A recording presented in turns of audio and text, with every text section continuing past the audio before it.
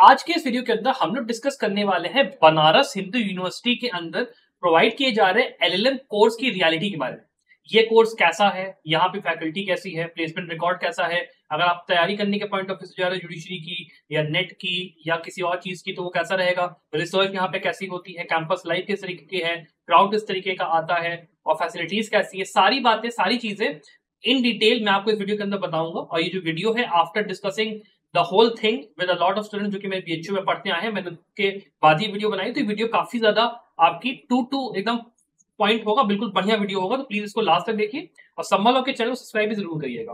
अब चलिए यहाँ पे शुरू करते हुए सबसे पहले बात कर लेते हैं कि यहाँ पे जो कोर्सेज प्रोवाइड किए जाते हैं, वो कौन कौन से हैं और साथ ही में सीट्स कितनी है कौन सी है एलिजिबिलिटी क्राइटेरिया क्या, सब कुछ यहाँ पे डिस्कस कर लेते हैं। देखिए यहाँ पे अगर आप बात करते हो तो यहाँ पे तीन एल के कोर्सेज चलते हैं। जो आपका पहला एल कोर्स है, वो आपका एक जनरल जो एलएम होता है टू ईयर्स वाला ये वो आपका रहता है। इसके अंदर आपकी टोटल नंबर ऑफ़ सीट ज़्यादा है compare to the other one forty seven total seats है। अब इसके अंदर देखिए, जो रिजर्वेशन वाले नंबर्स थे ना, कि किस पर्टिकुलर कैटेगरी में कौन सी आपकी सीट्स वगैरह जाती हैं, वो यहाँ पे दिया था नहीं ब्रोशर के अंदर। तो मैंने केवल एक अंदाज़ा लगाया है गेस वर्क है मेरा कि कितनी सीटें अवेलेबल होंगी तो आप उसको विद पिंच ऑफ़ सॉल्ट हल्का से लीजिएगा। तो यहाँ पे अनरिजर्व की इक्कीस सीटें हैं? सात सीटें एस तीन से चार सीटें एस सी में होती है ओबीसी में बारह सीटें होती है और ईडब्ल्यू में तीन सीटें होती है। और इसकी जो आपकी फ़ीस होती है, वो आपके पर सेमेस्टर छप्पन सौ रुपए यहाँ पे होती है। अब देखिए, यहाँ पे जो फंडा है, वो यहाँ पे ये यह है कि जो यहाँ पर आपका बीएचयू के स्टूडेंट्स हैं, उनको यहाँ पे जो आपका लॉ के स्टूडेंट्स रहे हैं, ठीक है एलएलबी के या फिर उसके, उनको यहाँ पे टेन से लेके फिफ्टीन परसेंट का एक्स्ट्रा रिजर्वेशन मिलता है। तो अगर आप बनारस हिंदू यूनिवर्सिटी से अपना लॉ कर रहे हो और अगर आप मास्टर्स अपना आप करोगे तो आपको यहाँ पे बेनिफिट रहेगा साफ़ साफ़ है। और ये सारे कोर्सेज पे एप्लीकेबल कहीं ना कहीं रहेगा। उसके बाद आपका दूसरा जो आपका एल है, वो आपका है एल ह्यूमन राइट्स का। जिसमें कि आपके 20 टोटल सीट है।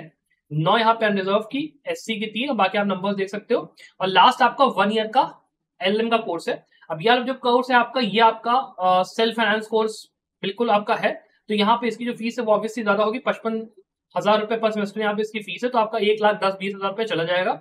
अगर आप बात करते हो कि यहाँ पे जो एलिजिबिलिटी क्राइटेरिया क्या है तो 50 परसेंट मार्क्स आपको चाहिए यहाँ पे, अपने एल के अंदर। और अगर आप PW D S C S T community से बिलोंग करते हो तो 45 परसेंट मार्क्स चाहिए फ्रॉम रिकॉग्नाइज यूनिवर्सिटी जो कि बार काउंसिल ऑफ़ इंडिया के उसके अंदर आती है। तो ये आपका हो गया कहना की क्राइटेरिया की एलएलएम का इसका क्या है। अब यहाँ पे मैं थोड़ा सा डिफ्रेंशिएट कर दूँ तो जो सबसे ज़्यादा वैल्यू होती है वो आपके टू ईयर वाला, जो वाला एल है, सबसे ज़्यादा इसकी होती है। तो यहाँ पर आप जब यहाँ पे जाओगे तो आपको सबसे हाईएस्ट कट ऑफ़ इसी एल एम का। यहाँ पे देखिएगा कट ऑफ़ को मैं अभी आगे डिस्कशन करूँगा, कितना कट ऑफ़ यहाँ पे क्या जाने वाला है। फिर दूसरे नंबर पे आपका ये वाला एल एम आता है, तीसरे नंबर पे आपका ये वाला वन ईयर वाला एल एम आता है। बस डिफरेंस यहाँ पे ये होती है कि वन ईयर वाले में घोड़े की तरह यहाँ पे पढ़ाएँगे वो लोग, और यहाँ पे जो पेस होगा रिसर्च का असाइनमेंट सबमिशन का, बाकी चीज़ों का वो बहुत ज़्यादा तेज होगा।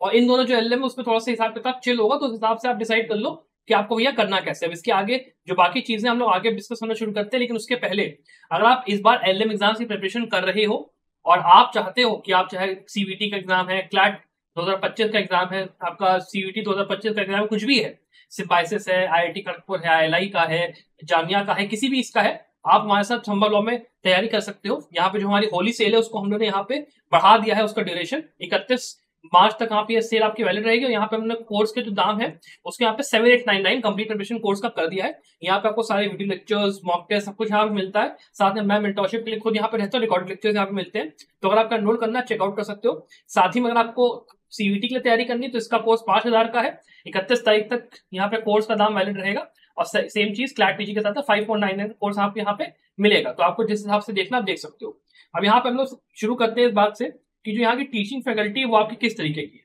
अब देखिए, आपकी जो यहाँ पे टीचिंग फैकल्टी वो आपकी ए क्लास की फैकल्टी है। यहाँ पर आपको जो परमानेंट प्रोफेसर है, आपके वहाँ पे बढ़िया से क्लासेस लेते हैं। यहाँ पे जो पढ़ाई वगैरह भी होती है, ये आप एक्सपेक्टेशन रख के नहीं चल सकते हो कि यहाँ पे आपको बिल्कुल स्कूल फ़ीड किया जाएगा। मास्टर्स के स्टूडेंट हो आप तो आपको यहाँ पे जो एक तरीका होता है कि आपको चीज़ें ऊपर ऊपर से बता दी जाएँगी, वो लोग अपना लेक्चर देके जाएँगे। बाकी आपको जो पढ़ाई है एग्ज़ाम के पॉइंट ऑफ़ व्यू से खुद करनी है, आपको यहाँ पे बहुत डेप्थ में नहीं वो बताया, लेकिन यहाँ पे जो कंसेप्चुअल क्लैरिटी आपको मिलेगी वो आपको कहीं नहीं मिलेगी दैट इज़ अ गारंटी और पढ़ाने का जो यहाँ पे एक स्टाइल है, वो भी बहुत ज़्यादा बढ़िया ही आप कह सकते हो. कंपेयर टू अगर आप बात करते हो कि एल एल बी के अंदर एल एल बी के अंदर थोड़ा सा शिकायत ही रहती है स्टूडेंट्स की कि यहाँ पे जो फैकल्टी है, वो लोग एडॉक फैकल्टी से थोड़ा सा क्लासेस ज़्यादा लिलवाते हैं लेकिन मास्टर्स में थोड़ा सा ऐसा नहीं होता. मास्टर्स में प्रॉपर जो फैकल्टी वो यहाँ पे क्लासेस लेती है.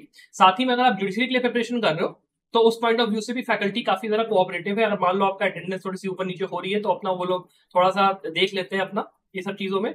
और जरा आपको परेशान नहीं करेंगे इस चीज़ के लिए कि भाई तुम जाओ रिसर्च के लिए असाइनमेंट बनाओ, ये करो, वो करो, आपकी लाइफ थोड़ी सी यहाँ पे चिल रहेगी फैकल्टी की तरफ़ से तो एटलीस्ट जब आप रिसर्च वगैरह की बात करते हो तो रिसर्च वगैरह के लिए इतना यहाँ पे हार्ड यहाँ पे क्राइटेरिया नहीं होता है। यहाँ पे जो फैकल्टी है, अगर आपने थोड़ा सा ऊपर नीचे कर भी दिया रिसर्च में, मान लो थोड़ा सा इधर से थोड़ा सा वो, इधर से वो तो आपका वो इतना माइंड नहीं करेंगे। आराम से आपका जो चीज़ें सबमिट होंगी, लेकिन जब आपका रिसर्च सबमिट होना होगा तो पूरा एक पैनल बैठेगा, जो कि आपसे पूरा यहाँ पे रिसर्च के लिए पहले आप प्रोपोजिशन दोगे, फिर आपका उसके हिसाब से पूरा वो होगा पैनल बैठेगा, फिर उसको वो मतलब पूरा डिस्कशन करेगा, फिर आप कोई मतलब एक गाइड अलॉट होगा गाइड फिर आपका उसके अंडर में आप पूरा उसमें बनाओगे अपना जो अपना पूरा डेजर्टेशन है, उसके बाद उस डेजर्टेशन के ऊपर आपकी पूरी जो एक आपका पूरा जो सेमिनार होता है, वो आपका होगा, उसके बाद उसमें आपको नंबर्स मिलेंगे तो पूरा प्रोसेस जो एक होता है वो आपका रहेगा। ये चीज़ आप ध्यान रख चलेगा फैकल्टी के यहाँ पे थोड़ा सा इस तरीके से हिसाब किताब है। है, लेकिन यहाँ की फैकल्टी बहुत ज़्यादा बढ़िया एकदम टॉप क्लास की फैकल्टी है। मतलब कंपेयर टू दिल्ली यूनिवर्सिटी यहाँ की पढ़ाई कहीं ना कहीं थोड़ा हद तक कंपेरेबल है। दिल्ली की थोड़ी सी बेटर पढ़ाई मैं कह सकता हूँ। बट यहाँ पे पढ़ाई काफ़ी अच्छी बीबीयू की तो वो दूर की बात है। बट यहाँ की काफ़ी अच्छी है। फिर इसके अलावा हम लोग बात करते हैं कि यहाँ पे आपको जो कैंपस लाइफ और फैसिलिटीज़ वगैरह वो यहाँ पे किस तरीके की है? तो यहाँ पे आप ये समझ सकते हो कैंपस यहाँ का बहुत ही ज़्यादा चौकस है, बहुत ही बढ़िया। बनारस सिटी के एकदम बढ़िया लोकेलिटी में लाई करते हो तो आप किसी भी चीज़ की कोई कमी नहीं होगी। कैंपस के अंदर ही आपकी लाइब्रेरी भी दी है, इसमें आप दो तीन लाइब्रेरीज है, एक आपकी सेंट्रल लाइब्रेरी पड़ती है, एक आपकी कैंपस की लाइब्रेरी है, एक आपकी जो कंप्यूटर लैब वाली जो लाइब्रेरी वो आपका अलग रहती है तो वहाँ पे आपको जो बुक्स वगैरह, वो मिलेगी एसी वगैरह वहाँ पे अच्छा है। बाकी जो आपकी सेंट्रल लाइब्रेरी है और आपकी जो नॉर्मल लाइब्रेरी वो आपका, वहाँ पे आ सकते हो। कैंपस लाइब्रेरी के अंदर आप जो बुक्स आप उम्मीद करोगे कि हाँ बहुत ही डेप्थ मिला के आपको एक एक बढ़िया बढ़िया ऑथर मिलेगी, उतना नहीं होगा बट हाँ काम चलाओ सर्विसेबल लाइब्रेरी आपको यहाँ पे कहीं ना कहीं मिल जाती है, वो एक चीज़ बढ़िया है। फिर हम लोग बात करते हैं अगर हॉस्टल वगैरह की तो हॉस्टल के अंदर आप ये समझ के चल सकते हो कि आराम से आपको जो वन ईयर और आपका टू ईयर इलेवन है, वहाँ पे आपको हॉस्टल मिलता है। जस्ट द क्राइटेरिया की जो नंबर ऑफ़ सीट्स होती है, वहाँ की आठ दस सीटें होती है, उससे ज़्यादा यहाँ पे नहीं होती है। और बाकी आपको उसके लिए पीजी उसमें करना पड़ेगा। हॉस्टल की जो फ़ीस है, वो चार पाँच हज़ार रुपए महीने का आपका कहीं ना कहीं यहाँ पे किराया जाता है। और अगर आप मान लो बाहर पीजी लेके रह रहे हो तो आठ से लेकर दस हज़ार रुपए में आपका काम यहाँ पे पीजी के अंदर भी, या फिर आप मान लो अगर हॉस्टल लेके रह रहे हो तो आपका काम यहाँ पे आराम से हो जाएगा। फिर आपका बेस्ट पार्ट अगर मैं बात करता हूँ कॉलेज के क्राउड के बारे में, कि क्राउड किस तरीके का है, किस तरीके का आप एक्सपेक्ट करके चल सकते हो चीज़ें तो यहाँ पे देखिए जो क्राउड है, वो ओवर ऑल ओवर इंडिया आता है। आपका साउथ इंडिया से लेकर नॉर्थ इंडिया जितने आप मतलब सोच सकते हो कि स्टूडेंट्स होंगे नेशनल यूनिवर्सिटीज के स्टूडेंट आपके सेंट्रल यूनिवर्सिटीज के स्टूडेंट कई तरीके के स्टूडेंट्स आपको वहाँ पे मिलेंगे। और वहाँ पे आप ये कह सकते हो कि it's a melting pot of people जो कि काफ़ी हद तक जुडिशरी की तैयारी करने के लिए वहाँ पे बीएचयू के अंदर आ रहे हैं।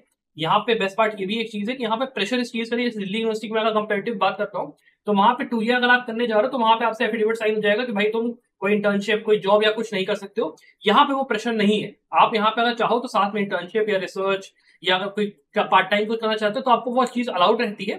तो आप अपना टाइम उस हिसाब से मैनेज कर सकते हो। वहाँ पे उस तरीके की आज़ादी आपको कहीं ना कहीं नहीं मिलती है। तो वो भी एक जानने वाली बात है। अपार्ट फ्रॉम दैट अगर आप देखते हो तो ऑब्वियसली तैयारी करने वाली क्राउड यहाँ मैक्सिमम आती है तो आपको अपने आप एक मोटिवेशन मिलता है कि हाँ यार, मेरे बगल वाला स्टूडेंट अगर पढ़ाई कर रहा है तो मैं भी थोड़ा सा यहाँ अपने पढ़ाई में दिमाग लगाऊँ, थोड़ा मैं वो करूँ।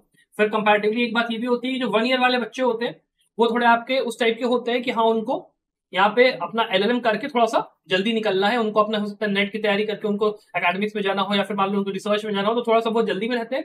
टू ईयर वाले थोड़े से लेट बैक होते हैं, थोड़ा सा उनका इस चीज़ पे दिमाग होता है कि हाँ हमको यार थोड़ा तैयारी करके आराम से अपनी डिग्री लेनी आराम से यहाँ पे सब कुछ एंजॉय करके मैं जाऊँगा। तो उस तरीके का थोड़ा सा डिफरेंस आता है कि आपके ऊपर फिर डिपेंडेंट है कि आपको वन ईयर में करना है कि टू ईयर में करना है। वन ईयर के अंदर आपको थोड़ा सा घोड़े वाली रफ्तार मिलेगी, उस चीज़ का ध्यान रखो। अगर आपको जल्दी जल्दी चीज़ें करनी तो वन ईयर आपके लिए ठीक है, वरना टू ईयर मेरे हिसाब से यहाँ का बेस्ट आपका रहेगा। Two year is the best यहाँ पे कोर्स जो कि बी ऑफ़र करता है। इवन यहाँ पे मैं कहूँगा कि अगर आप एक ऐसे स्टूडेंट हो जो कि बिलोंग करता है यूपी एरिया से और आपको दिल्ली जाना थोड़ा दूर पड़ेगा और आप कंफ्यूज हो कि मैं किसको सिलेक्ट करूँ।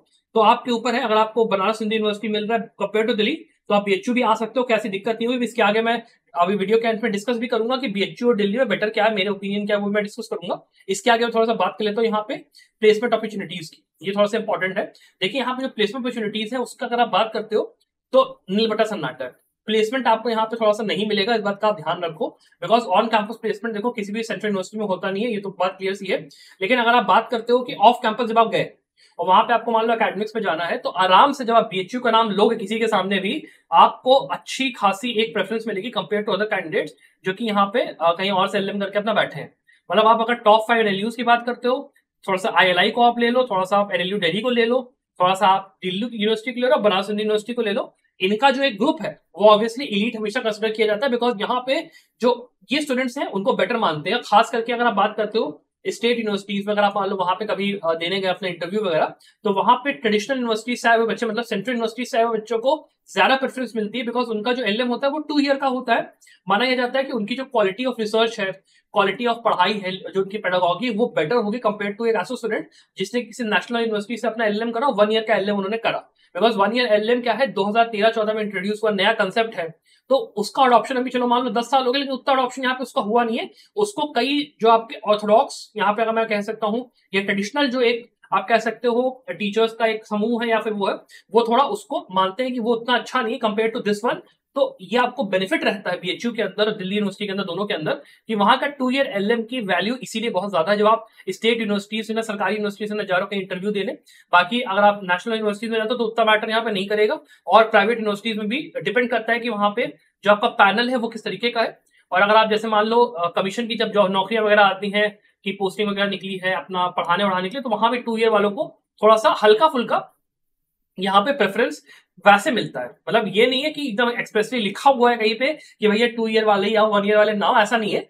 लेकिन जब आप पैनल को फेस करोगे, जब आप वहाँ पे अपना इंटरव्यू दोगे तो ऑटोमेटिकली आपको वो चीज़ महसूस होगी। That is what I am saying that is it उसके अलावा अगर मैं बात करता हूँ इस चीज़ की कि यहाँ पे कट ऑफ़ वगैरह का क्या रहेगा सिस्टम बीएचयू के लिए इस बार 2024 में अगर हम लोग बात करते हैं तो देखिए कट ऑफ़ जो मुझे यहाँ पे दिखा है स्टूडेंट्स से भी जो मैंने बात किया उसके हिसाब से तो यहाँ पे जो टू ईयर और टू ईयर वाला है, उन दोनों का ही कट ऑफ़ मेरे हिसाब से यहाँ पे अगर जाएगा तो यहाँ पे करीब 165 से लेके 175 के आसपास जाने का मेरा उम्मीद लगती है। हो सकता है मे बी 180 चला जाए, काम मुश्किल ही लग रहा है, लेकिन 165 से लेके 175 तक इसका कट ऑफ़ यहाँ पे कहीं ना कहीं जाएगा। हो सकता है इससे कम भी चला जाए 160 जा सकता है।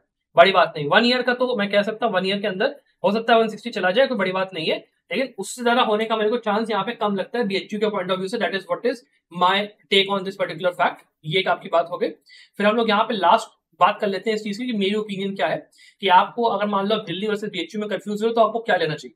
देखिए यहाँ पे फंडा क्या है ना? दिल्ली यूनिवर्सिटी जो है, दिल्ली यूनिवर्सिटी के अंदर जो आपका टू ईयर वाला है, उसके अंदर एक क्लॉज लिखा हुआ है कि भैया देखो, आपको एफिडेविट साइन करके लिखना है कि आप कहीं जॉब या कुछ कर नहीं पाओगे। और आगे चल के जब आप जुडिशरी के लिए प्रिपरेशन कर रहे हो तो वहाँ पे इस चीज़ का एक आ सकता है फंडा कि जो स्टूडेंट्स यहाँ पे प्रैक्टिस कर चुके हैं दो या तीन साल, केवल उन्हीं को हम लोग यहाँ पे जुडिशरी के लिए एज एस्पिरेंट मानेंगे। वहीं पे उनकी यहाँ पे क्राइटेरिया वाला क्लॉज बनेगा। मध्य प्रदेश में बल्कि भी चीज़ ये हुई थी, सुप्रीम कोर्ट में टेकडाउन होगी, वो बात अलग है। लेकिन ये धीरे धीरे करके इम्प्लीमेंट होगा। तो अगर आप दिल्ली यूनिवर्सिटी के अंदर हो और आपने अभी मान लो लॉ कंप्लीट किया, दिल्ली यूनिवर्सिटी में आप आ गए अब दो साल तक आप फंस गए। आप वहाँ पे लिटिगेशन करने गए। अब लिटिगेशन में आपने भाई सर्टिफिकेट मांगा, वहाँ पे आपका वकालतनामा चढ़ा, आपने ऑल इंडिया बाद में एग्ज़ाम देकर एडमिशन लिया, आप अपना कोर्ट प्रैक्टिस दिखा रहे हो। तो वहाँ पर सीधे सीधे वहाँ पे पैनल आपसे पूछेगा कि भाई आप दो साल वहाँ पे एल कर रहे थे, वहाँ पे आपने एफिडेविट साइन करा।